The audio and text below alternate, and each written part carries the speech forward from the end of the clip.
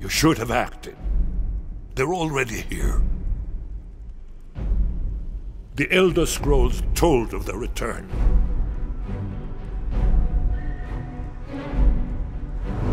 Their defeat was merely a delay.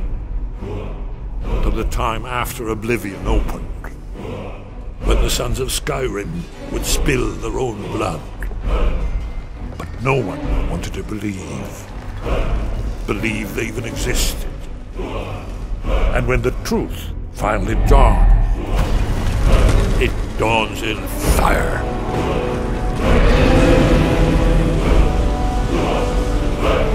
But there's one they fear. In their tongue, he's Dovahkiin, Dragonborn.